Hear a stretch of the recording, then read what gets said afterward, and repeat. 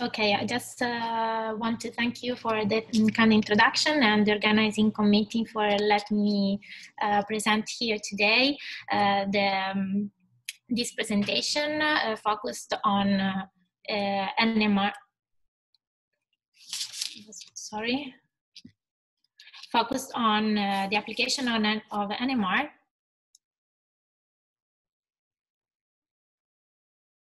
of um, application of NMR uh, for the assessment of uh, food quality and uh, authenticity. Uh, first of all, uh, just uh, just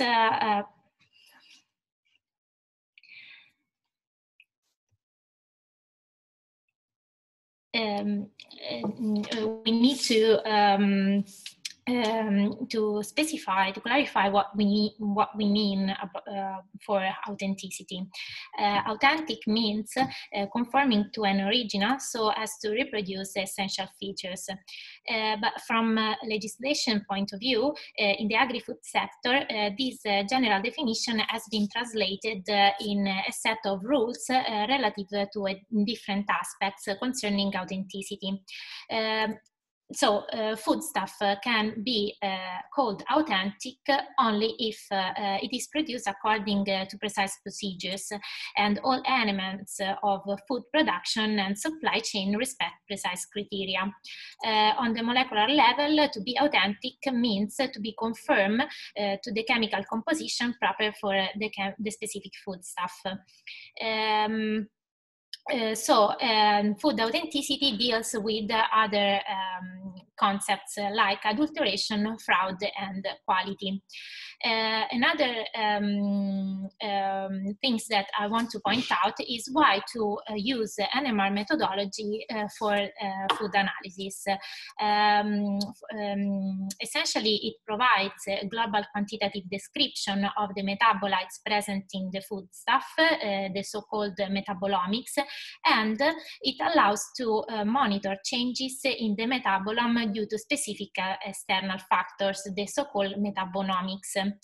Um, NMR analysis can uh, perform um, both untargeted and, un and targeted uh, analysis, so we can have both approaches with this technique. Um, targeted analysis is uh, restricted to specific metabolites, so in this case, a selective extraction can be performed uh, before the NMR analysis to concentrate the selected metabolite and avoid interference from other compound. Um, but uh, we can have also untargeted metabolite analysis, the so-called fingerprinting. Uh, um, so the NMR spectrum can be considered as a fingerprint of the product and uh, all the NMR resonances are measured without any identification. Uh, in this uh, slide is shown um, a typical workflow of a metabolomics studies uh, study adaptable also for food quality, safety, and authentication applications. Uh, each step is fundamental and critical with important consequences for obtaining reliable and meaningful biological results. So the principles uh, of elemental experimental design are universal. Uh, in this phase, a number of aspects must be taken into account uh, in order to maximize the possibilities of answering the research question of interest as clearly and efficiently as possible. So um, we have different steps, uh, sampling, sample preparation. In the case of NMR, uh, if the, um, the, um, the, the, matrix of the foodstuff is liquid, we do not need any preparation um, in reality. We can just submit the samples with the mm, dilution with the proper solvent or buffer uh, and uh, we can have data acquisition, so we perform 1D and 2D experiments. Um, and then we uh, analyze, so we, we perform the metabolite assignment uh, in the case of metabolite profiling, uh, and uh, um, at the end, the metabolomics workflow ends not always, but uh, usually with the multivariate statistical analysis to um, manage the huge amount of data that we generate with, uh, with NMR approach. Um, this uh, type of uh, um, um, this type of uh, statistical analysis can be either uh, um, um, unsupervised techniques like uh, uh, PCA or uh, supervised multivariate techniques. Uh, in this slide, I just want to uh, compare um, the uh, NMR approach, so the NMR spectroscopy with, and with mass spectrometry, uh, which are uh, together with uh, chromatographic technique, the election technique to perform metabolite experiments. Um, the NMR spectroscopy is for sure less sensitive for metabolite detection compared to mass spectrometry, which can detect analyze lights um, in femtomolar to uh, attomolar ranges. Uh, but on the contrary, NMR technique is not destructive, as I said before, um, especially for liquid state matrices. Uh, we do not need any um, preparation, just a dilution for solid matrix. Uh, we can perform um, the, um, the extraction, whereas mass spectrometry, uh, spectrometry uh, requires more tissue destruction. And uh, not least, uh, NMR uh, technique can perform easily the quantification of the, of the metabolites present in the spectra if, of course, the signal is not overlapping with the other um, signals. Uh, the NMR um, can uh, uh, answer, so the application of NMR uh, to food matrices can answer to different questions, uh, the geographical origin, the variety differentiation, the monitoring throughout the season. And uh, in this slide, I'm just showing you um, some application of the different NMR, the high resolution, the Acker mass uh, uh, the benchtop NMR uh, to different food matrices, for example, coffee, honey, Uh, and the type of uh, determination that we can do uh, applying the NMR um, technique to this food matrix. So we can detect for coffee the adulteration as well as for honey, and also we can perform geographical origin and, and so on. so as I uh, as I mentioned before, NMR targeted approach allows uh, the identification of uh, specific markers of identity uh, adulteration of uh, for a given foodstuff. Uh, for example, a high resolution one proton NMR analysis was successfully applied for the honey, as I said for um, before, but also for the coffee um, to detect the presence of an identity marker, uh, the 16-O-methyl uh, cafestol, 6-OMC. Um, present in, in Arabica, um, which is a, um, a, chemical marker of the less expensive Robusta coffee. And here I'm just uh, explaining you um, an, an, example. I'm showing you an example. So as we can see from the slide, uh, coffee beans um, from Arabica and from Robusta can be clearly uh, be distinguished macroscopically. Uh, the beans are, are different. Um, coffee Arabica even though it represents the 70% of production of the entire production, worldwide production of coffee, uh, is uh, a more delicate and medium low yield plant. Uh, instead, coffee robusta is a very much resistant and high yield plant. So uh, it's not usual, but uh, it can happen that uh, um, some coffee arabica can be um, in, in, coffee arabica can be present some um, amount of uh, coffee robusta. Um, so uh, the most useful information about genotypes can be gained when considering the concentration of terpenes and steroids. So the uh, diterpene 6-OMC is present exclusively in robusta beans. Uh, it, thus is the most suitable marker for discrimination between Arabica and robusta. In Germany, the official method for the determination of the 6-OMC in Arabica uh, blend uh, is by chromatographic analysis, so HPLC, but it requires a time-consuming and sample preparation. Um, of course, the 60, 16 OMC is a, diterpene, so it's a lipophilic um, molecule and uh, will not be um, very much concentrated in aqueous extracts. So to perform these uh, experiments, we just need to uh, extract with uh, lipophilic um, solvent like chloroform. And uh, here is what uh, um, the group of uh, Monakhova uh, has been done in, the, in this work. So here um, on the right, you can see the uh, NMR spectra of both uh, types of coffee. the black one is the Robusta and the red one is Arabica. And um, they are highlighted the signals belonging to uh, different compounds. Uh, the A uh, represents the 60 OMC, the uh, identity marker or of um, uh, Robusta uh, types type. So as, as we can clearly see, this signals is present only in Robusta and not in the, in the Arabica spectrum. Um, whereas the other compounds like caffeine, named with B and uh, triglycerides named with C are present in both, uh, um, both types of coffee and kahweol is present only um, uh, in, uh, in Arabica coffee at just a little more, small amount in, in Robusta. Uh, so we observe, uh, so kahweol um, can be uh, like uh, defined as a, as a marker of uh, Arabica. Uh, so um, in addition to the peak, to the signal belonging to the um, 60 on MC, sometimes it can happen that we have an additional, uh, two additional signals uh, due to uh, decomposition um, products of the 60 OMC. So the total amount of 16 OMC is the, the, the sum of these, these peaks. Um, and here sorry. Uh, and here we can uh, see what uh, has been done uh, for the uh, detection of uh, Robusta coffee in Arabica. this S43 and S27 are the pure Robusta coffee. So the signal belonging to the 60 OMC is clearly um, much um, higher.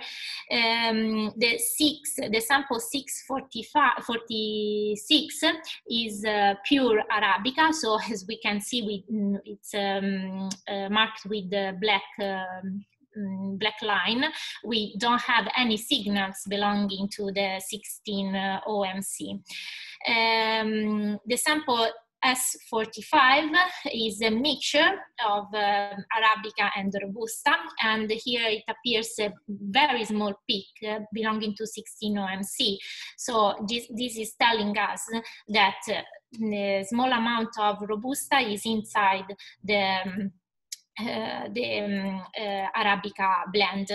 And the S44 is an unintentional contamination, so we just see a very, very tiny peak.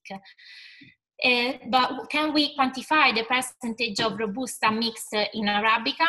Um, the answer is yes, but under a certain uh, percent percentage.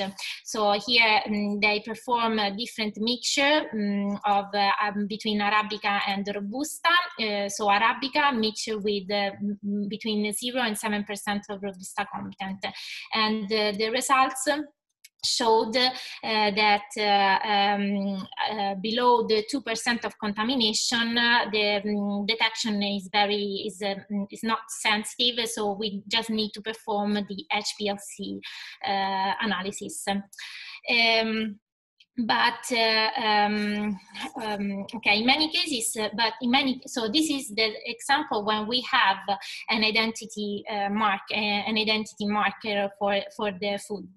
Um, in but in many cases it's not possible to identify a specific marker uh, however the food stuff is characterized by a set of metabolites belonging to the same class or different classes. Uh, an analysis based on the combination of several compounds compounds or on the entire metabolite profile of foodstuff representing a unique pattern characteristic of the food identity must be used to discriminate uh, samples according to the authenticity identify fraudulent fra food. Uh, in this case, the NMR based on targeted approach is used uh, since it, it allows uh, the characterization of chemical composition of complex mixtures, uh, providing simultaneously information on a wide range of metabolites or a set of selected ones. Uh, so uh, in this case, I'm just uh, presenting you the example of the case of the olive oil. Olive oil is um, a very complex mm, food matrix in which the application of metabolite profiling um, allows the um, determination of quality, geographical origin, cultivars, and fraud. Uh, so NMR spectroscopy has proven to be an extraordinary tool uh, for the characterization of olive oils in terms of quality, authenticity, and geographical origin. Um, in this case, I'm presenting you um, work uh, done by um, uh, Mannina et al. Um, about the geographical classification of uh, Mediterranean virgin olive oils produced in three consecutive years um, on 896 samples of PDO or EVO produced in different Mediterranean areas. As we can see from the table, we have many countries, Spain, France, olive oil um, coming from Spain, France, Greece, Greece, uh, Turkey, um, Italy, and uh, Eh, eh, inside Italy, they differs uh, the mm, eh, um, extra virgin olive oils coming from a region of Italy, Liguria. and they were able to discriminate through NMR the, between Ligurian samples and all the others olive, extra virgin olive oils. Um, they just selected 16 resonances sensitive to the geographical origin. they were were measured and submitted to the chemometric analysis, so the application of statistical analysis. Uh, they uh, used two methods, the PLS uh, and uh, models. Um, uh, they focused uh, at one category at time and um, they were able to build up a model of each class separately and hence they have uh, been suggested to be more effective when in dealing with problems with food traceability. Uh, so they performed the statistical analysis at two stages. They um, built up a global model including samples for all the three harvesting years, accounts so, for has uh, many variables as possible. So, they are not, uh, in this model, they are not uh, taking into account the um, variability in composition due to pedoclimatic conditions. Um, in the second stages was uh, the building of uh, uh year-to-year models. So they built up uh, three different models for each harvesting years, and in this time they are um, checking the accuracy uh, for the models and evaluate the variability year to year. Uh, the results at the end of this um, of this long work was that Ligurian olive oils are always always characterized by a higher amount of terpenes that can be considered as a sensory marker specific of, of these olive oils. But on the other hand, they also highlighted that. Uh, uh, highlighted an important uh, quality marker of Ligurian olive oils, which is uh, the low amount of saturated fatty acids compared to the other olive oils of these studies. This make, um, which makes these olive oils more suitable to particular diet regimes. Um, uh, finally, I just uh, want to um, um, to talk about um, a, a, current routine, routine application of the NMR to assess uh, food quality and uh, food authenticity.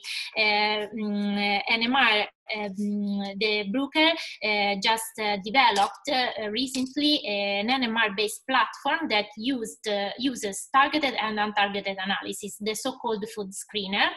Um, today, three uh, different models uh, of food screener platform are available, namely spin-generated fingerprint profiling is for fruit juice, wine profiling for, of course, wine, and honey profiling, which is, of course, for wine. But um, um, so these um, these platforms are, are used for the routine application of NMR.